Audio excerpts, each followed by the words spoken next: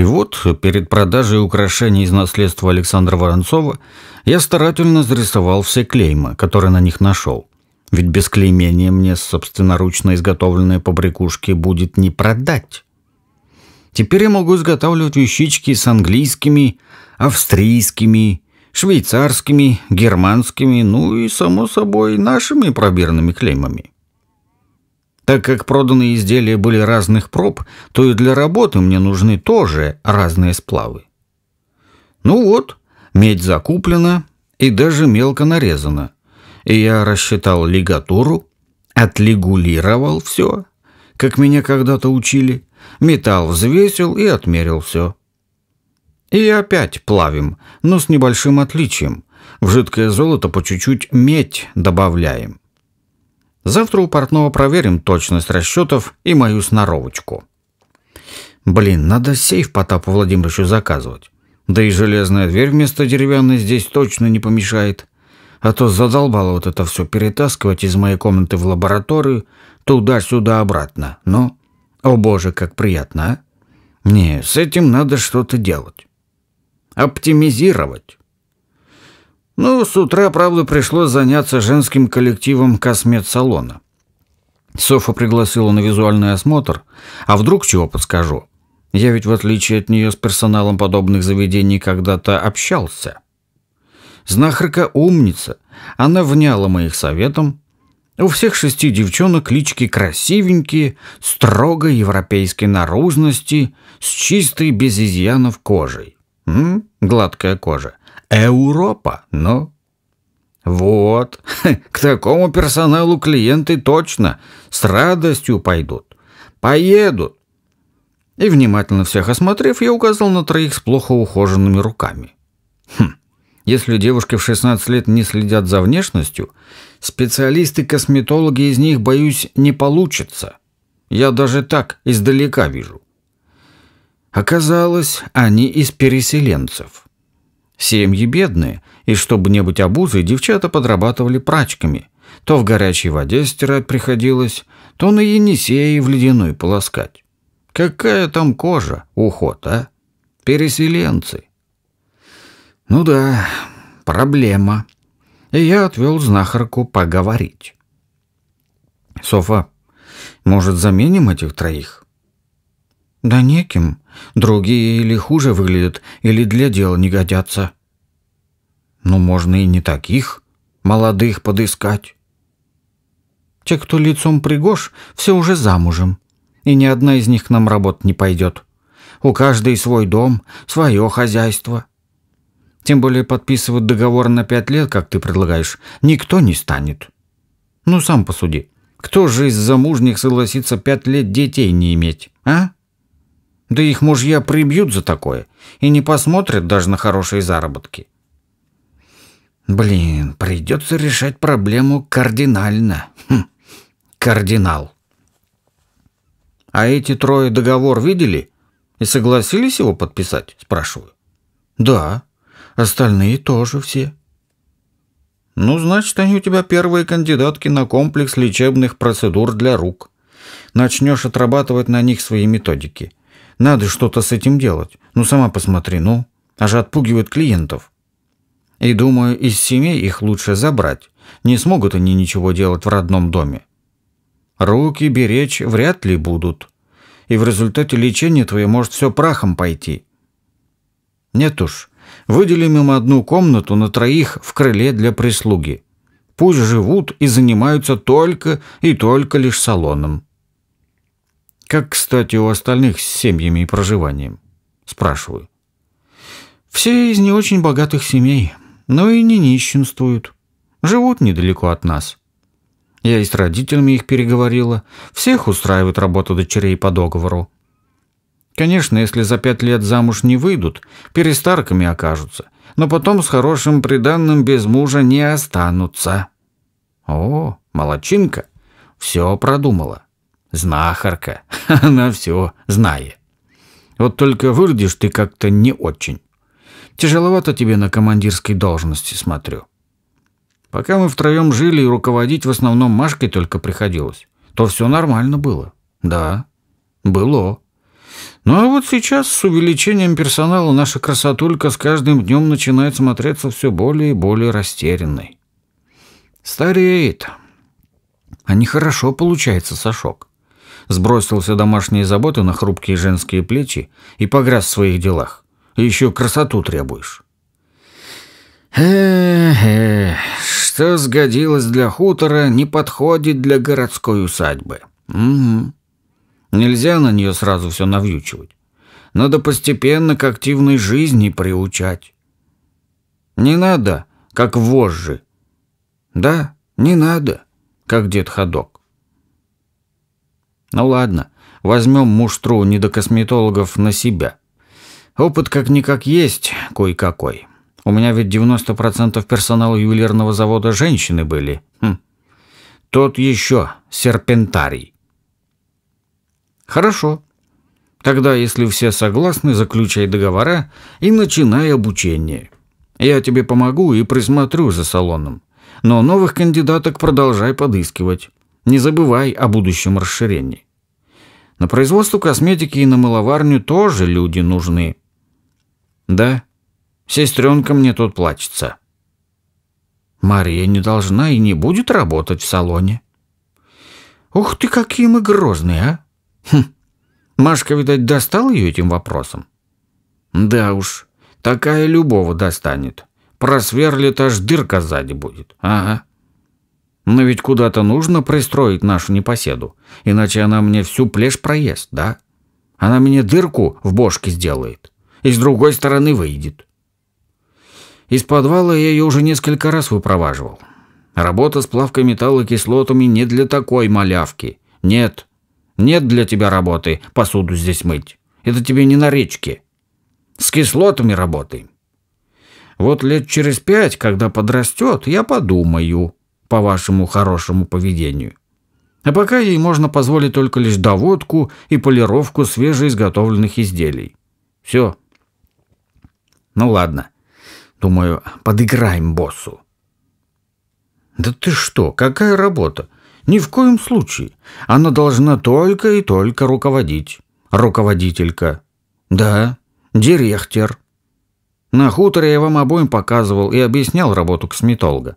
Вот теперь пусть старательно отрабатывает эти навыки, чтобы быть лучшей. Best of the best of the best of the best. Вот так вот. Что непонятно? А потом учит остальных и контролирует их работу. Супервайзером будет. Но, Софа, я тебя умоляю, ни один клиент не должен видеть ее за работой. Максимум для нее это ходить по залу и давать ЦУ. Ценные указания. Целевые. Знахарка задумчиво и немного неуверенно кивнула. Но взгляд был такой, словно я ее в чем-то обманул. Хм, давно подметил, как убеждать нашу красавицу. Говори ей всегда искренне и чистую правду, потому что все равно узнает. А где я сейчас ей неправду сказал? Вот.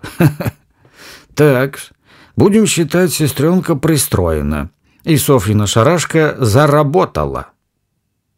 Арбайтен махт фрай. Все, будем работать. Документы мы в городском совете почти уже оформили. В конце января клиентов начнем зазывать уже.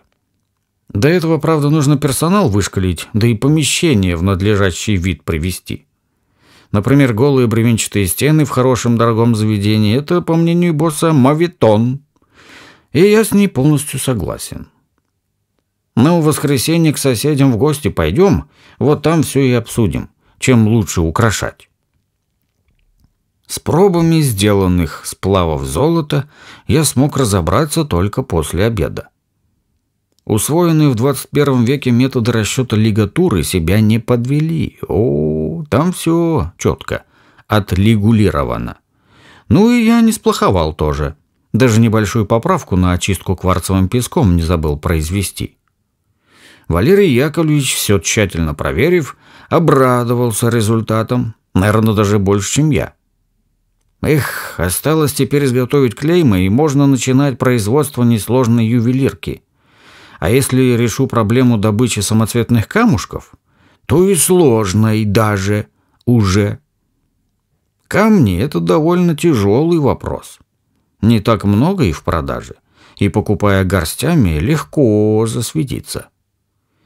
Мелочи, набранные на волчьем ручье и камушков из разобранной брошки, хватит изделий на пять, не больше. А дальше как быть?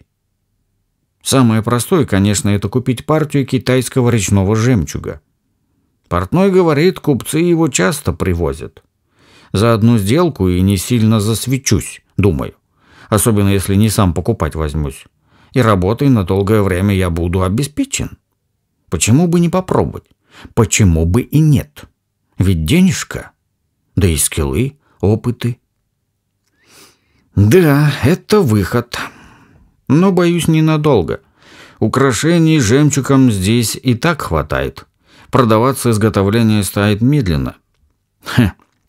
Надо искать выходы на поставщиков уральских самоцветов. Насколько знаю, они самые крупные сейчас. Блин, да чё уральских? Любых поставщиков. Любых. Грибы все не попадя. А пока, а пока, как богиню на руках, носят Жанну. А пока. О, а если начать... А что если действительно начать скупку камней от лица косметического салона?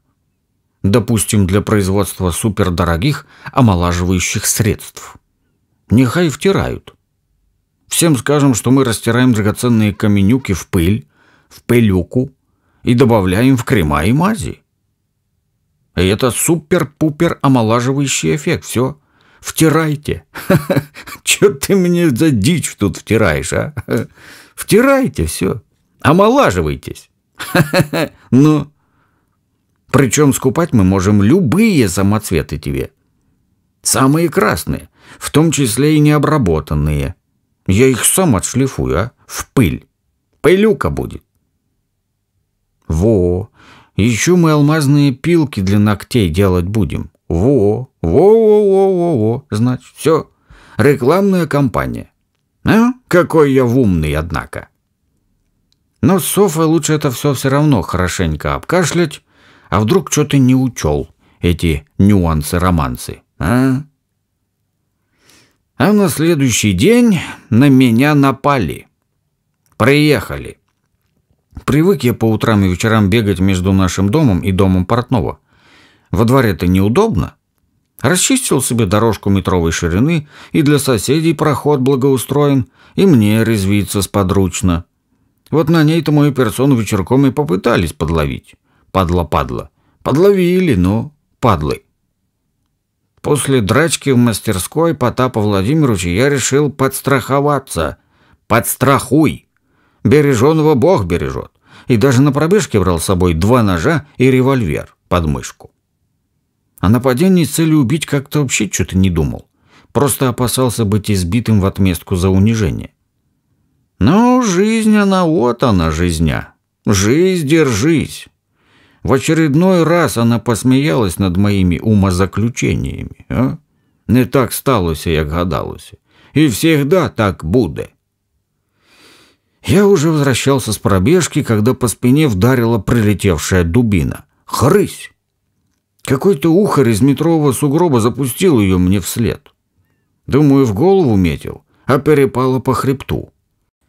Вот такой косоглазый городошник попался. От удара тело бросило вперед, и на автомате ушел в перекаты. Перекатился. Перекатив поле. Вскакивая, я сбросил рукавицы, выхватил пристегнутый к предплечью нож и почти нос к носу столкнулся со вторым разбойничком, с трудом перелазившим через сугроб. Ох, тебя по хребтыне! Спешит, проваливается. В руке топор тускло поблескивает, кромешный. Похоже, не собираются ребятки со мной церемониться, как там у Высоцкого. Тюк прямо в темечко, и нету кука. М -м -м. Ему оставалось сделать последние пару шагов, чтобы выбраться из снежного плена. И недолго думая, я воспользовался неудобным положением противника. Подскочил к сугробу, увернулся от неуклюжего взмаха топором и всадил ножик в бедро выставленной ноги. «А? А будешь?» Теперь быстро не побегаешь, ага. Шкуты гальгай, значит. С громким воплем раненый скатился на дорожку. Топор в сторонке упал. Я его сразу отпихнул от греха подальше. Что, козлы, думали, в игрушки играть будем? Со двора усадьбы раздался злой лай Мухтара. Оглянувшись, увидел еще одного ворнака, бегущего к нашей калитке. Рука сама потянулась за огнестрелом. «Слишком вас много, ребята!» «По очереди давай, по очереди заходи! Слышишь?» И я бросил взгляд по сторонам. Метатель дубины почти выбрался из сугроба, а второй лежит рядом, дрова, и подзывает, подвывает и за ногу держится. Належи, валай. Больше нападающих не наблюдаются. Нету очереди. Я вытащил револьвер и сразу пальнул в воздух. Бабах! Убивать вот так вот сходу не было никакого желания. А ну стоять, суки, пристрелю. Первый замер, а третий, подбежав к калитке, затеял какую-то возню. Было непонятно в этом сумраке, чем он там занят. Скорее всего, пытается во двор прошмыгнуть. И в голове пронеслись мысли о заложниках. Да не, какие нафиг заложники? Здесь о таком вообще понятия даже не имеют. Может, через усадьбу хочет удрать? Навпростеть, напрямки, значит. И решил гаденыш, да, что справиться с собакой, что ли? Ну, как бы там ни было, а во двор его пускать никак нельзя. И я прицелился ему пониже спины. Лефаше вместо выстрела издал сухой щелчок. Щелкнул. Твою мать! Надо ж так подгадать, падла. Шпилечные патроны регулярно делали осечки. Примерно один из 50 патронов обязательно не срабатывал. Один из 50 — это 2%. И вот на тебе, повезло. А второй выстрел мне сделал не дали. Раненый, резко дернувшись, бросился к ногам. Повалил и попытался дотянуться до револьвера. Не раздумывая, я тыкнул его в шею зажатым в левой руке ножом. По ладони брызнула теплая струя. Пошла тепленькая, водиться. Ну, мужик, ты сам судьбу выбрал, ну. Такова романтика большой дороги. Не только ты убить можешь, но и тебя тоже. Едва успел спихнуть себе замершее тело и сесть, как получил удар в плечо прилетевшим топором. О, про меня еще помнят. Черт, руку от локтя до плеча пронзила острейшая боль. И чуть сознание не потерял. Грубая волночная куртка смягчила удар. Вот ведь долбанный городошник. Чуть развернувшись, всадил в подбегающую фигуру две пули. Первую в грудь, вторую в голову, на всякий случай. Контрольный. Слишком уж шустрый этот гад. Шустрики. Шагов пять не добежал. Всего-то. Превозмогая боль, я начал подниматься. Встав на колено и бросив взгляд в сторону усадьбы, я заметил убегающего вдоль забора третьего разбойничка. Правда, далеко уйти ему не дали. Сверху на спину упал серый комок, и оба мгновенно скрылись в снегу, припорошенные. Мухтар подоспел, больше некому. Ох, боюсь, один он с ним не совладает. И с трудом встав, я побежал, прихрамывая, на помощь. Над забором показался дворник Семёныч с факелом. «Фак-фак! Факел несу! Матерится! Факи-факи! Топором трясет! Шмаки-траки! Обещает дурные головы всем подшибать! Нахер! Факелы!» Дальнейшее для меня происходило как в замедленной съемке. В неярком колышущемся оранжевом свете увидел встающего ворнака, выдернутый из-за пояса топор. Вот смотрю, топорик взлетает вверх. И это все замедленная картинка. Не склеена. С ужасом понимаю, что удар предназначается верному псу. И я вскидываю руку, выстрел и отчетливо вижу место попадания пули, дернувшуюся голову и медленное падение тела и через какое-то мгновение жизнь опять побежала с нормальной скоростью. Ускорилась. Перемотка. Быстро огляделся по сторонам. Пусто. Кончились злодеи. Мухтар, смотрю, еще рычит и треплет тело нападавшего, а я просто рухнул в ближайший сугроб. Все, не чипайте. Что-то ноги не держат, и руки трясутся. Вообще состояние полной вымотанности, как будто стержень из меня выдернули. Я висю на заборе.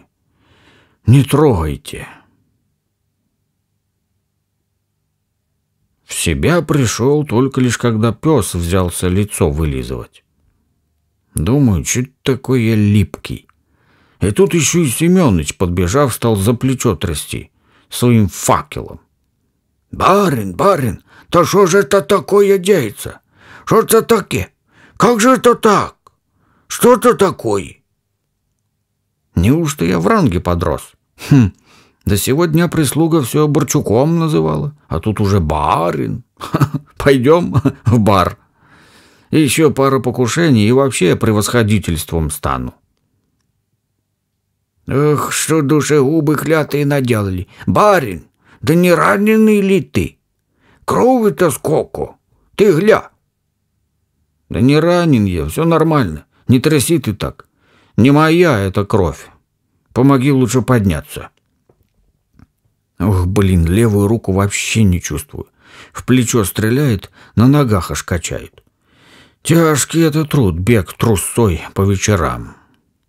Из дома в дом. До дома. Ага. Будешь сошок и дальше клювом щелкать. В следующий раз так легко не отделаешься, да. О чем это я? Какой следующий раз?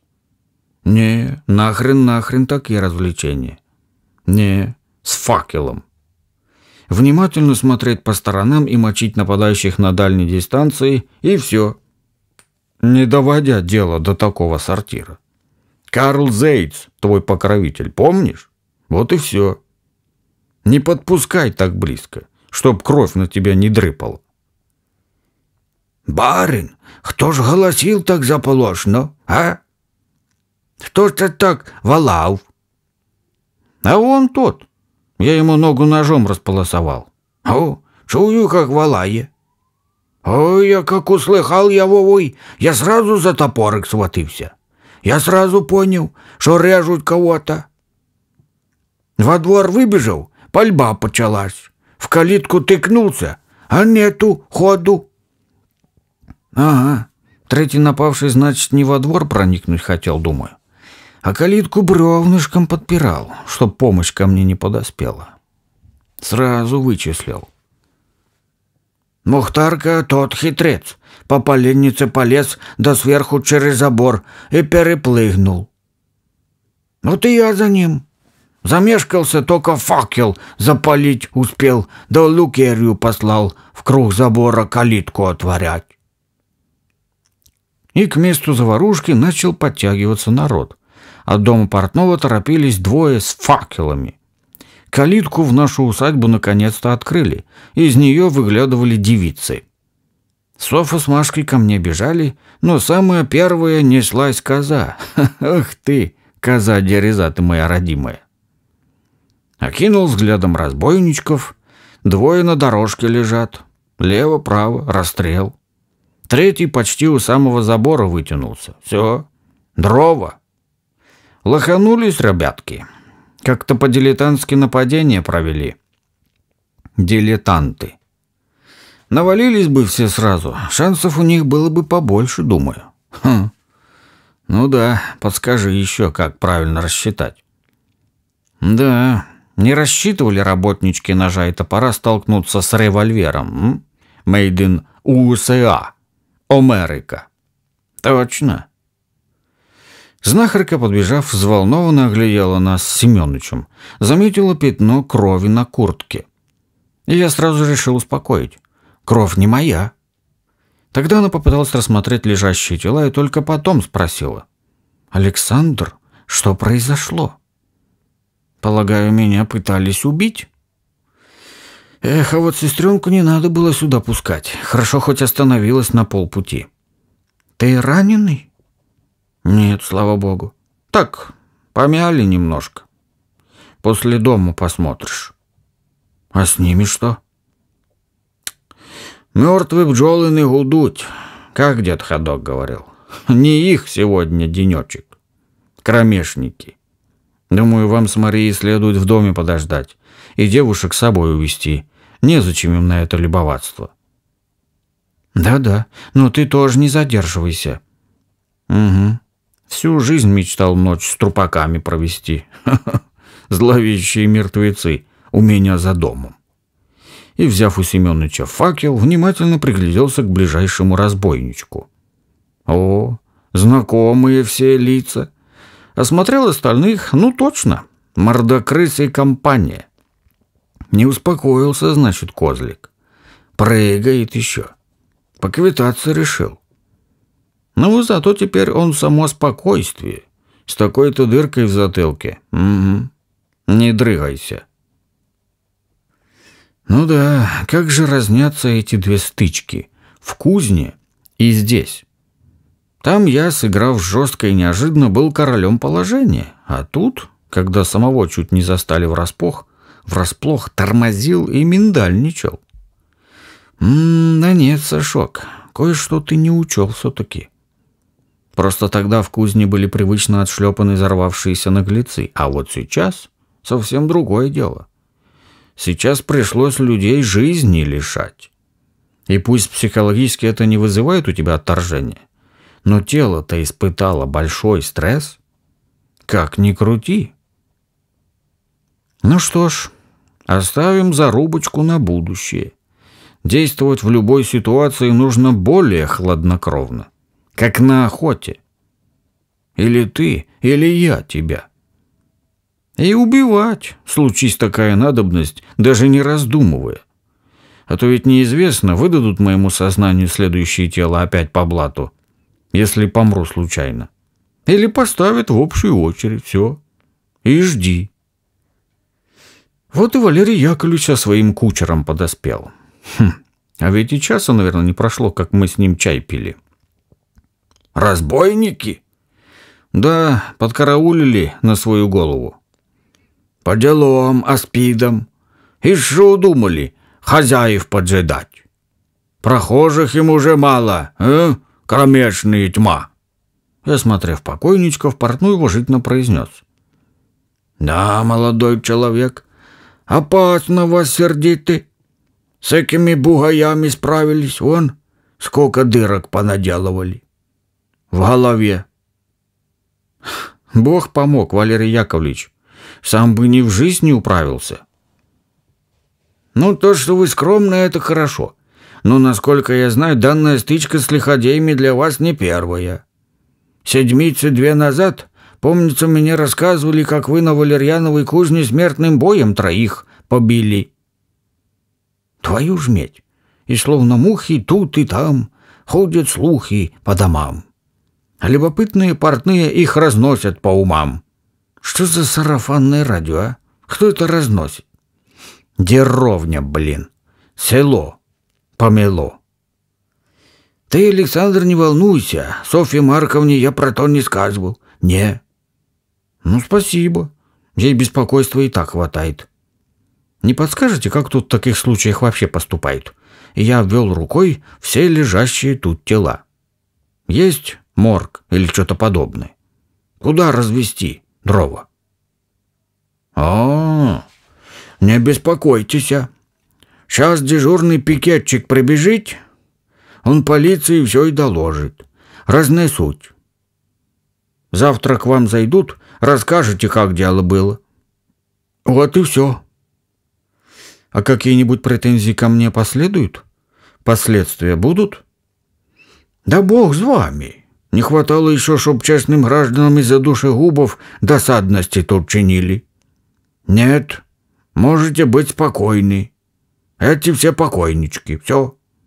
И думаю, вам лучше к Софье Марковне немедленно пойти на лечение. Судя по лицу, вам тоже досталось. Я ж бачу. А мы уж тут сами уже разберемося. Еще раз спасибо, Валерий Яковлевич. Действительно, я пойду. Остыв от этой схватки, я понял, что меня здорово трясет. а ноги аж подкашиваются, ватные. И непонятно, из-за побоев это или из-за схлынувшего адреналина. Завтра все будет понятно. Все тело будет болеть. И башка тоже.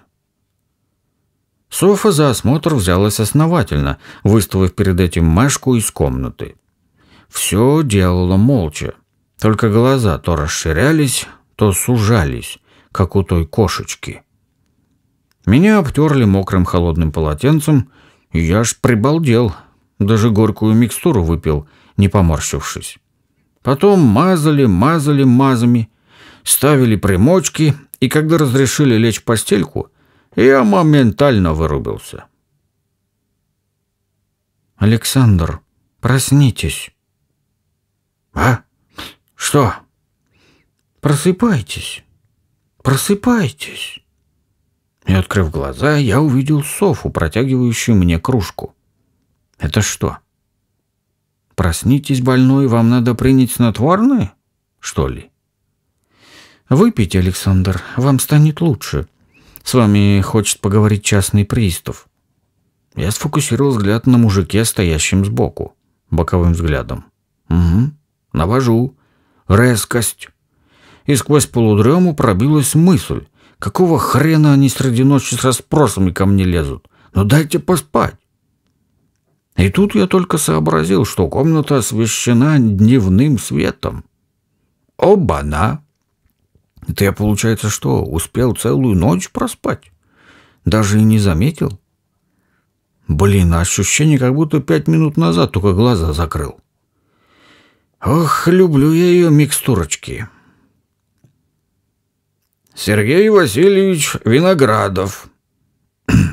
Александр Патрушев, говорю. Простите, что вас беспокою, Александр, но мне надо записать ваши пояснения к событиям, имевшим вчера место. Служба, понимаете ли.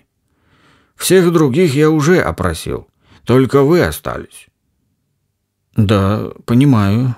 Спрашивайте. Что-то рожа у тебя, Сережа, больно хитрая, но что не рожа-то, Сережа, а? Так, Сашок, а ну собрался. Не хватало еще что-нибудь ляпнуть, не подумав, а? Думай, башка. Включайся. Не подскажете, от чего же у одного из преступников горло и нога порезанные? Ну, нормальное начало разговора. Нормалек. Как будто непонятно, почему у него что-то там порезано, а? Горло. Или он меня так с панталыку сбить хочет, а? И говорю. Мы дрались, я и порезал.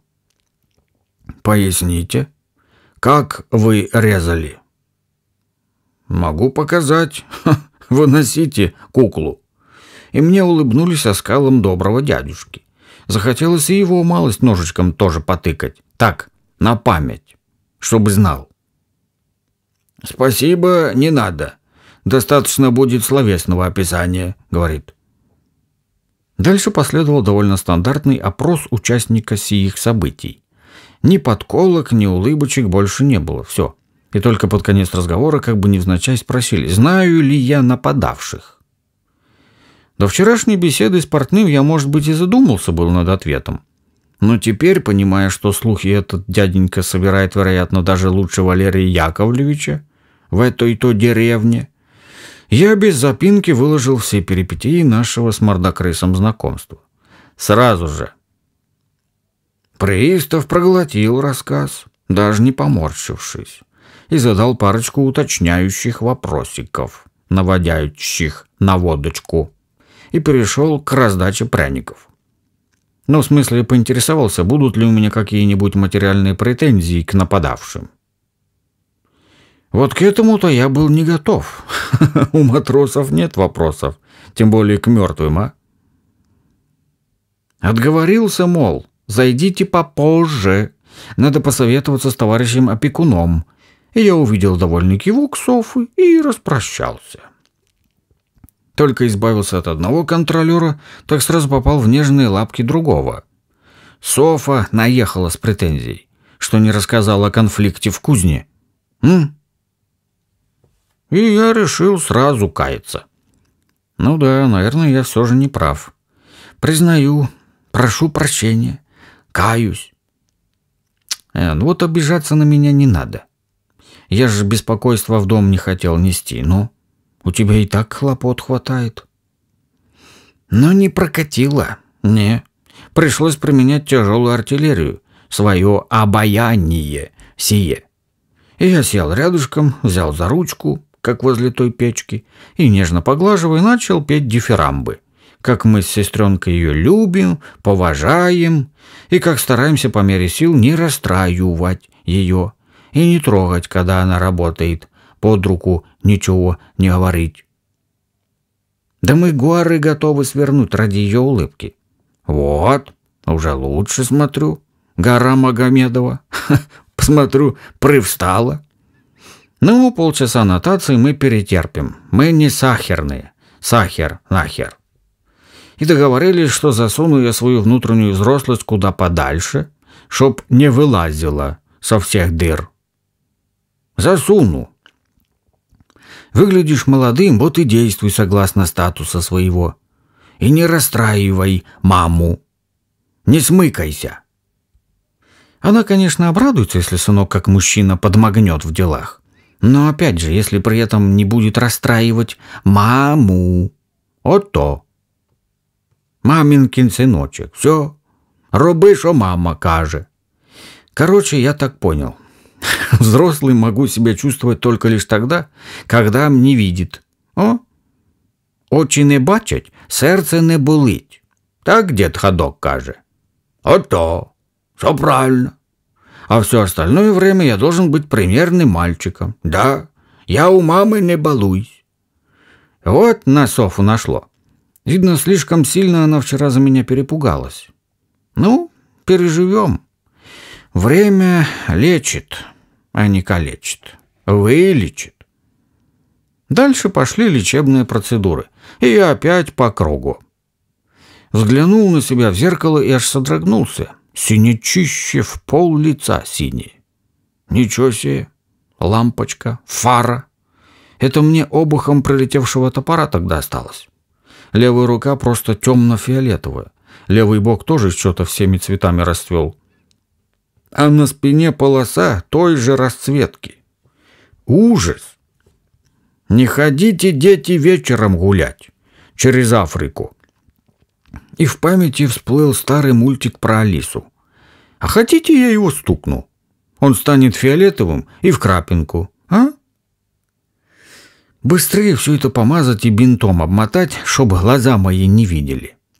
И после процедур думал еще вздремну. Ага, фигушки, не дали, не дадут.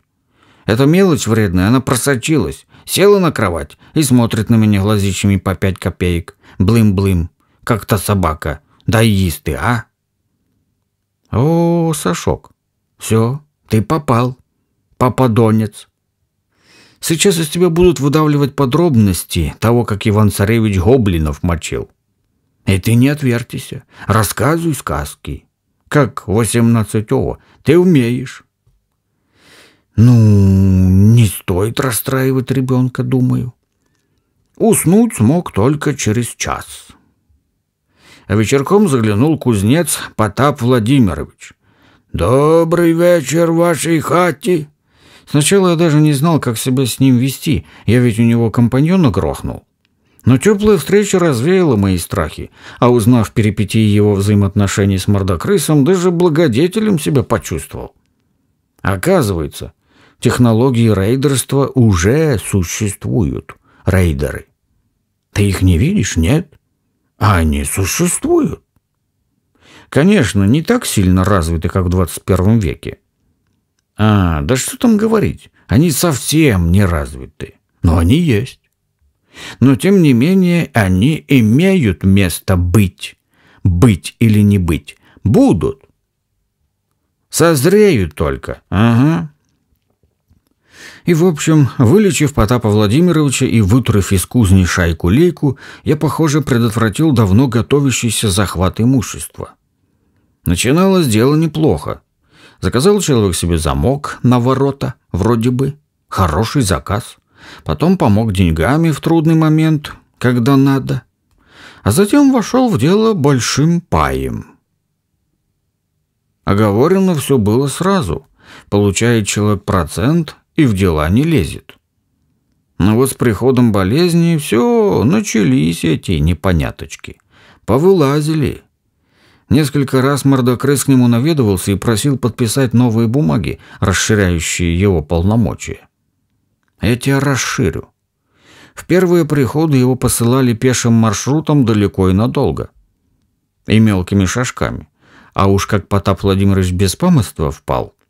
Шайка в мастерскую заявилась своими мелкими шажками, размахивая якобы доверенностью на полное управление делами. Все, все решено уже.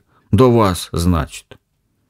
И к этому времени должен был вернуться помощник, уехавший по делам в Канск. Но время шло, а единственного, кроме хозяина человека, который мог бы поставить наглецов на место, попросту не было. На это и был расчет. Рассчитайтесь. Контроль над мастерской ребятки взяли свои ручонки довольно хватко. Все, мое. Прихватами прихватизировали. И если кто высказывал недовольство, его выгоняли без оплаты. Все. В день, когда я туда нагрянул, чаша терпения работников она переполнилась. Она полилась.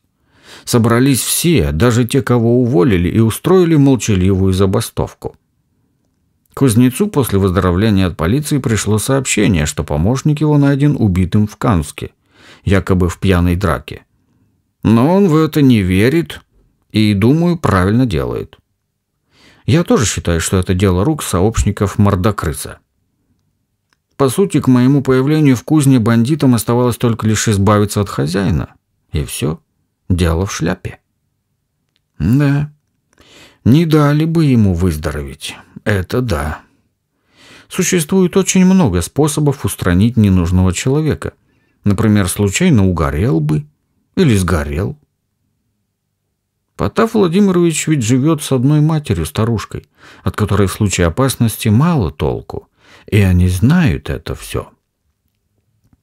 И вот в этот напряженный момент, как ангел спасения, хе-хе, во всем белом, в кузню заявился я и обгадил злодеям всю малину. Пришлось им на время притихнуть и собирать обо мне информацию. Все. Сбирайте, сбирайте, везбируйте, чуете, не? Собрав и подумав, они посчитали самым верным сначала меня уконтрапупить, а затем продолжить начатое. А? Такие пупы, пуп земли, а? Надумали. Неверный был замысел, неверный и поганое исполнение. Ха! Александр, сегодня у меня был частный пристав, разные вопросы задавал говорил о возможности запроса на долю напавшего разбойника. Да, мне он об этом тоже говорил. Ты в своем нраве.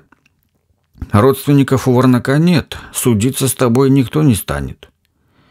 Часть доли я могу тебе сразу деньгами отдать. После исполненного с твоей помощью заказа появились деньги в кассе. А остальное я со временем верну. Я и от себя добавлю – тоже за спасение. О, нет, спасибо большое. Вот этого не надо. Помилуй, Александр, как же не надо? Вы тоже в своем праве. Ты мне и жизнь, и дело спас.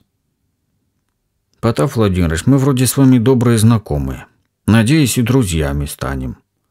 А какие между друзей счеты могут быть? И кузнец потупился и немного смущенно продолжил.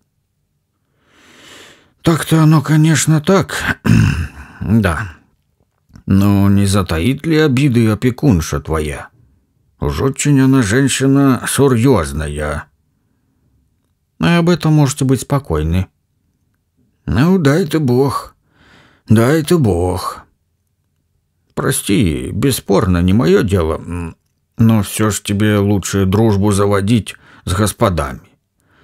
Простолюдин тебе не ровня. Ты еще молод. А я пожил, и я знаю, о чем говорю. Иначе не примут они тебя в свой круг. Ох, не примут. А, честно говоря, это меня мало волнует. И поверь, так будет всегда. а насчет вхождения в права на долю разбойничка я согласный.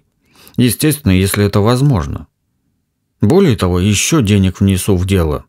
Но прости, Потап Владимирович, только как полноправный партнер. Только в этом случае. Так что хорошенько подумай, нужен ли тебе беспокойный совладелец. Ну так если человек хороший, то чего ж не подумать? Мыслю и задумки есть? Задумки пока совпадают с теми, про которые ты мне осенью говорил.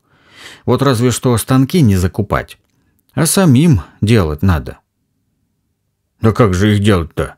Ведь не на чем. Я так прикинул, того, что есть, нам вполне хватит. И зачем нам те станки? Дело, естественно, долгое, так ведь покупать их и, и везти в Сибирь займет времени же вообще еще больше. Видно было, что я озадачил человека выше крыши. Ха, как так? Сидит, головой мотает, плечами поводит. Судя по взгляду, мысли улетели в дальние дали. Далеко. Ну, значит, пришла пора прощаться, думаю. Пусть дома все взвесит. Мне в работе добровольный партнер нужен, а не загнанный обстоятельствами и чувством долга. И говорю, ты, Потап Владимирович, домой теперь иди. Обдумай все, взвешай, а через пару дней я уже зайду. И поговорим тогда уже. После ухода кузнеца мы с Софой провели совещание на тему, претендовать ли нам на имущество нападавших или ну его нафиг, а? Эту всю лабуду. Ну, из этого рая не будет ничего. Ну, может так быть. Оно нам надо? Тоже надо взвешивать. Угу. Знахарка специально ради этого после обеда сходила посоветоваться с семейством Портнова. Соседи сказали однозначно претендовать. Причем надо стремиться урвать все, что не приколочено. Все. Грибы нагребай в кучечку. И чем быстрее, тем лучше. Ведь городская дума обязательно постарается наложить лапу на бесхозное имущество. Конечно, да. Или полиция подсуетится. И финансовые средства преступничков растворятся в закромах Родины. Все. Если не ты, то они кучку не погребуют. Загребсти. Конечно.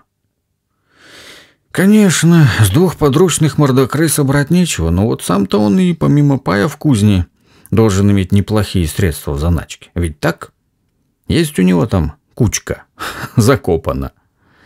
Ну, прикинув и так, и эдак, решили лишние деньги в хозяйстве не, не помешают.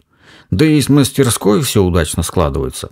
Начну заморочки по металлообработке на пару лет раньше, чем планировал. Даже. Так что на следующий день главная наша пробивная сила ринулась в бой. В смысле, Софа с Марией Львовной отправились по инстанциям. Констанции. Поехали. Блин, как-то постепенно я оказываюсь все в большем долгу у соседей, смотрю. Чем я буду рассчитываться, а? М да, пойду-ка займусь подарками для них к Новому году. Эскизы уже готовы, надо теперь реформами для отливок заняться. Битва за честно, синяками заработанные денежки завершилась только лишь через восемь дней. Кроме пая в мастерской мне досталось аж 28 рублев. Ох, чувствую, закрома Родины пополнились гораздо сильнее с той стороны, значит. Ну? Ну да хрен с ними. Мы за эти дни успели все с Потапом Владимировичем обмозговать и обговорить даже. Вступаю я в права на 40% мастерской и двигаю прогресс в массы. Даешь пятилетку за три месяца? М? Ну, может, за четыре. Хм, вот тебе и лето. Оценивая хозяйской мастерской, хозяйство сошлись на четырех тысячах рублей серебром. Моя доля стала быть 1600 рубликов. Сразу посчитал. 40%. Из них 400, 1400 досталось мне от мордокрыса. А 200 я обещал довнести за зиму деньгами или работой по улучшению инструмента и станков. Ты мне, я тебе, значит. Ну, с Потапом Владимировичем мы надумали пока по более-менее отработанной технологии заложить производство сразу пять паровых машин, схожих с той, что две недели назад сдали. Одна у нас уже в заказе от винного завода стоит. Одну я в усадьбе хочу поставить. Много куда она там надобна. А с остальными к весне разберемся. Кузнец говорит, что спрос большой. Главное, что заказывая материалов на пять паровиков за раз, мы платим столько же, сколько пришлось бы платить за четыре по отдельности. Это как четыре купи, пятое бесплатно. Так получается. Вот, акции. Как не взять? Надо брать. Покупаем. И кроме того, самого производства постепенно мы будем улучшать станочный парк. Хотя какой тут парк? Такси. Детская площадка. Детский сад пока, по сравнению с заводиками. Ну ничего, никак без этой ступени. Первая ступень. Для этого параллельно с паровиками наметили сделать три однотипных токарных станка, примерно таких, каким я их помню. Они придут на смену тем, что в мастерской последние дни доживают. А дальше посмотрим, что в первую очередь понадобится. Вот то и начнем клепать.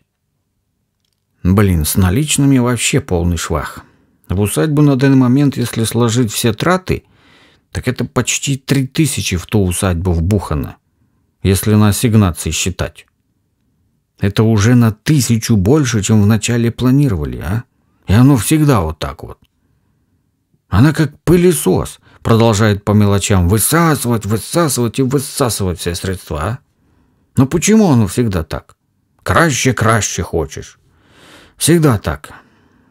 За освящение дома церковью дай деньжат дай, денег дай, значит. За иконы дай, за все дай, выдай. Дай монету. За привезенные Никифором дрова кучку тугриков тоже отдай. И не греши, выложи. Водовозу за свежую енисейскую водичку тоже отсыпь. И не плакай тут. Прачкам каждую неделю тоже вынь да положь. М? Вы ж так хотели? Ну да, и как-то не задумываешься об этом обо всем. Оно каждый божий день высасывает грошики, а? Уличным дворникам тоже отстегни на бедность. А как же не убирать? Конечно. А нету, сам бери, шмыгай. Молочницы каждый день тоже выкладывай. А Феря совсем совесть потеряла. Девять месяцев уже не доится. Возомнила себя боевой козой, а? А сколько продуктов постоянно на целую ораву покупать приходится? Есть ты, ест ты, а? Наедайся. Это вообще ужас. Это я даже не считаю. Эх, как же в лесу было хорошо. Один отшельник. Только за себя и думай. Вышел из дома на крыльцо. Почесал свое лицо. Сварил яичко. Заварил себе чаечку. Все, наевся, наедайся. И ничего не думаешь толком. Завалил пару-тройку оленей, все, и наедайся от пуза на несколько месяцев. Да, хотя тут на этот счет тоже неплохо. Тут тоже вышел из дома, завалил трех козлов и 1400 рубликов загробастал. Все. 1400. 40%, а? Подходите по очереди, козлы. Так и бизнес можно делать. Э, нет. 1428. О, точно. Куркуль на куркуляхторе. Посчитал. Все. Ты куркуль. Ох-охо, а ведь скоро еще зарплату персоналу выплачивать надо. Да и Софа все сильнее наседает с покупкой музыкального центра, своего этого пу пианино. Гитара, видите ли, не подходит приличным девушкам. М -м -м. Не то время. Тут все в пиванинах у них. Ага. А вы видели, какое оно здоровое?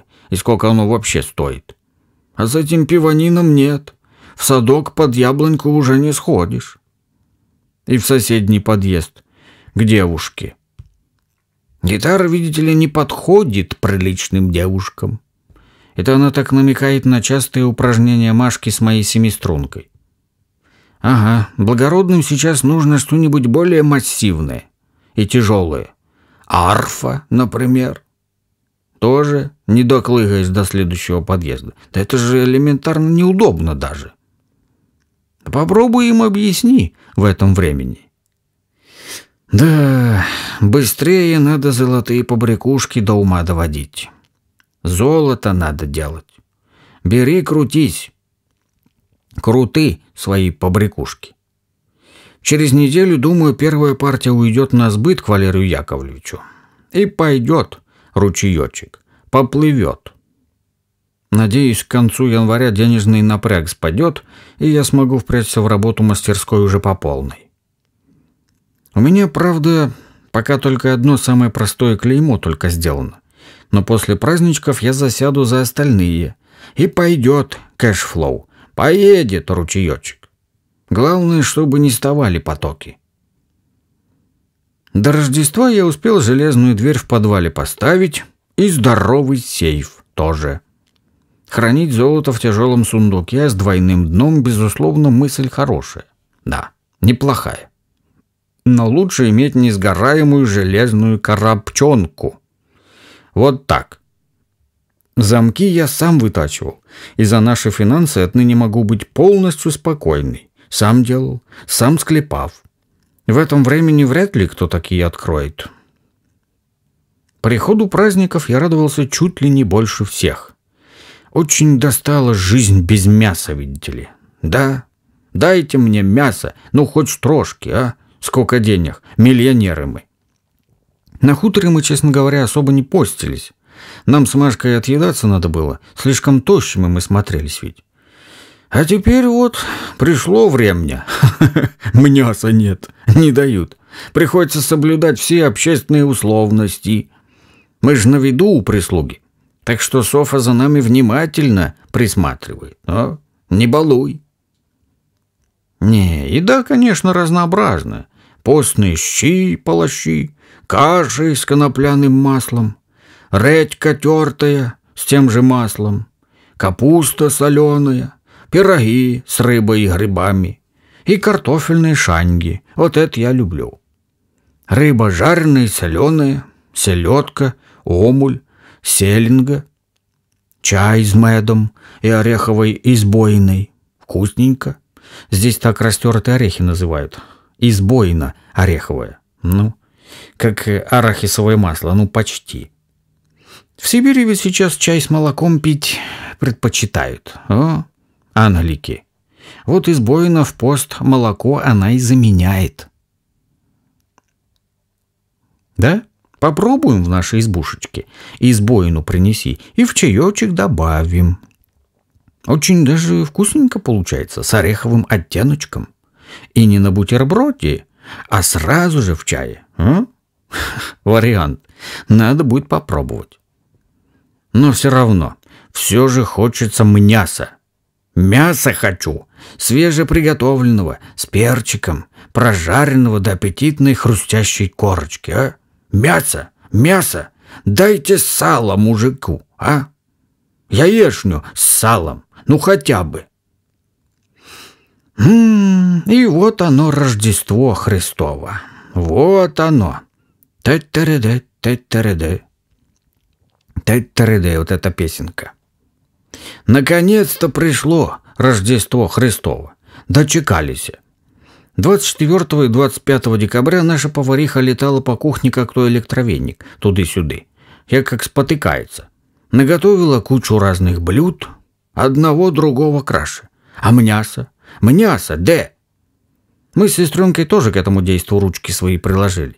Я сварганил какую-то хренотень, напоминающую салат оливье. А? Слышали такое? Пробуйте. Оливье.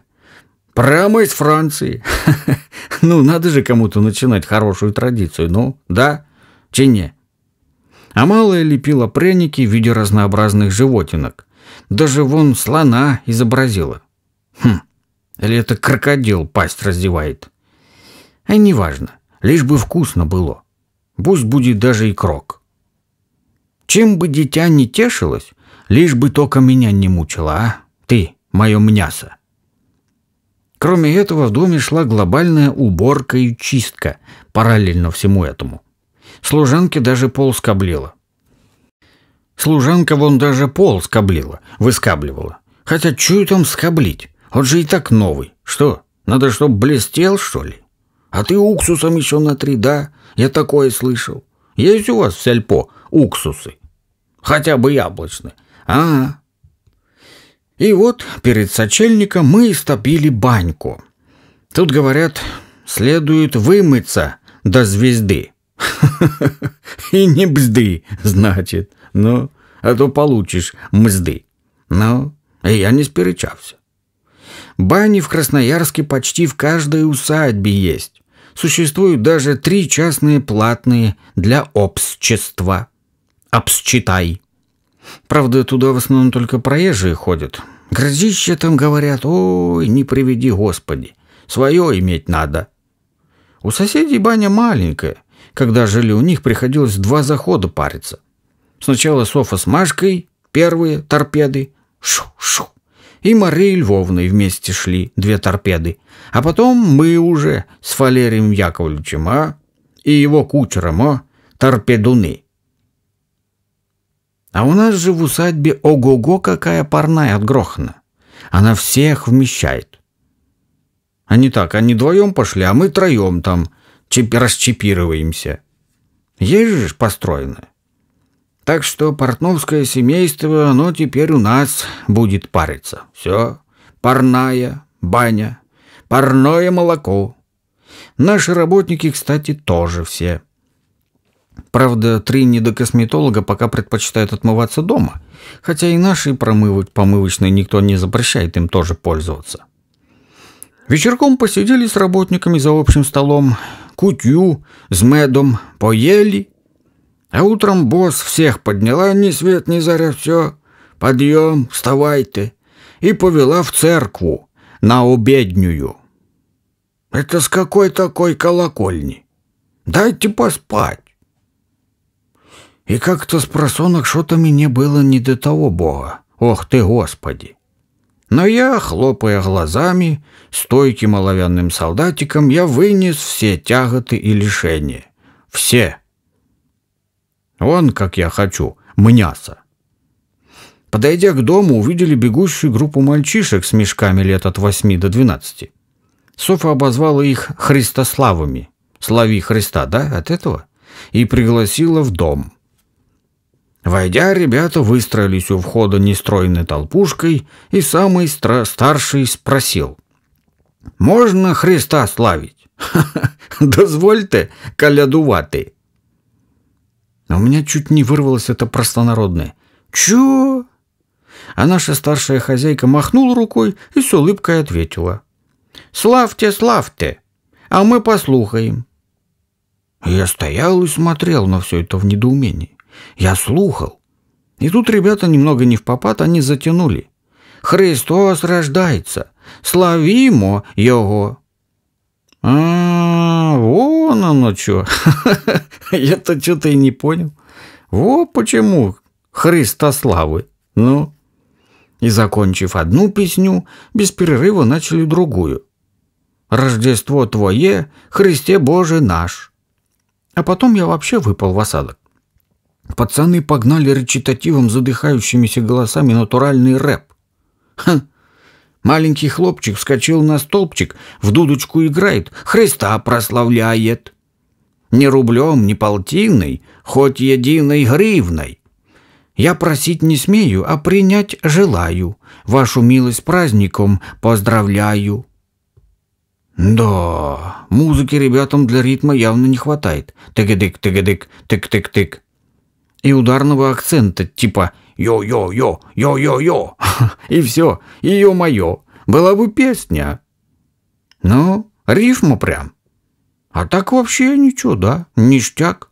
Нормально концертную программу отбарабанили. Пряники и мелочь, во всяком случае, заслужили. Отработали, да. И тут я заметил восторженный взгляд Машки и понял, что надо спасать человека. «Да, Машуля, у тебя намного лучше петь получается, и денег бы ты в разы больше собрала. Помнишь, как у ходака колядовали?» «Ага. Во. На ребят начинаем посматривать уже снисходительно вместе». «Ничего, ничего, мы с тобой за эти празднички досыт напоимся, отыграем свое». Заработаем. И вот до обеда к нам наведывались еще три пацанские песенные банды. Йо-йо, йо-моё. Приходили рэперы. Репертуар разнообразием не баловал, поэтому над последними мы с сестренками уже вовсю хихикали. Да. Чивці-бривці покотились, добрий вечір вашій хаті. Добра з маком паляниця. Ага. В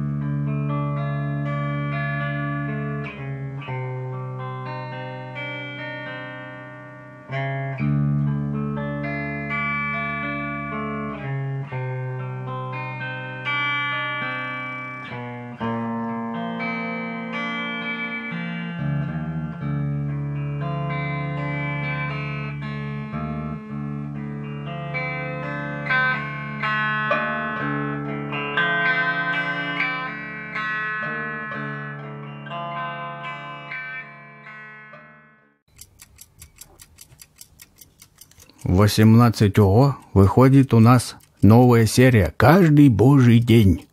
Все аудиокниги и все рассказы находятся в нашем подвале, снизу. Заходишь, и там целая библиотека наших рассказов.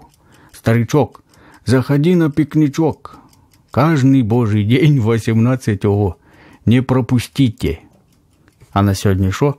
А на сегодня все. Покедова, споки-ноки.